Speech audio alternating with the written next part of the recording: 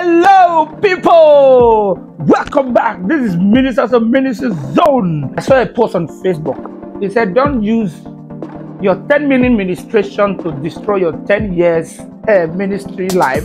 Ah! When I saw that thing, it just boom, boom, boom. I was like, God bless you, sir. Don't use that 10 minute ministration, that 10 minute stage that you are climbing to destroy that your 10 years. For you to stay on that platform for 10 days, you're using 10 minutes it. Ah, it's not ideal, it's not wise. It's not godly. We are going into 2024. Why not take this time to work on yourself? To work on your craft, work on everything that has to do with you. Focus on your career. Focus on what God have asked you to do. There is an assignment that God have given to you. Don't use 10 minutes administration or 10 minute stage work to destroy that 10 years sustenance. Okay. The 10 years that you're going to stay on the platform better than that 10 minutes that you want to use to destroy the 10 years ahead. When the year started, you started on a very good key. But right now, what key are you on? Are you still on that key or you're standing on the wrong key?